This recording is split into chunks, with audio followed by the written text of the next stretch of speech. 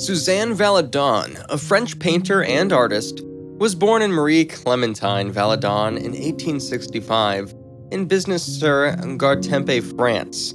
She was a groundbreaking figure in the art world, known for her compelling and unconventional works that challenged societal norms and pushed the boundaries of traditional art. Valadon's early life was marked by struggle and determination. She was born into a working class family and began working at a young age to support herself. Her talent as an artist was discovered when she modeled for prominent painters, including Pierre Auguste Renoir and Henri Toulouse-Lautrec. Inspired by these interactions, Valadon embarked on her own artistic journey, defying the conventions of her time. Valadon's paintings were characterized by their boldness, rawness, and honesty. She often depicted female figures, including self portraits, nudes, and intimate scenes, with a focus on capturing their strength, sensuality, and inner emotions. Her distinctive style combined a unique blend of influences, incorporating elements of post Impressionism, symbolism, and Fauvism. One of Valadon's notable contributions to the art world was her exploration of the female gaze. She challenged the traditional male dominated art narrative by presenting women as active subjects rather than passive objects of desire. Valadon's representations of the female form were authentic, unapologetic, and free from the idealized beauty standards of the time.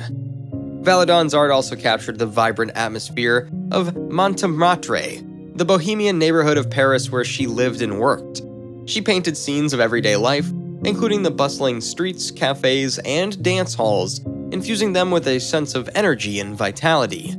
Her ability to capture the essence of a moment and convey a range of emotions through her brushwork made her work compelling and captivating. Despite facing challenges and prejudices as a woman artist, Valadon's talent and determination allowed her to gain recognition during her lifetime. She exhibited her work in major art exhibitions and galleries, breaking barriers and inspiring future generations of female artists.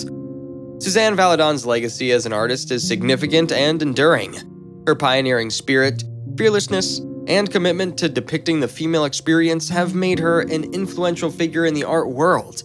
Her art continues to be celebrated for its emotional depth, artistic innovation, and its contribution to the advancement of women in the arts.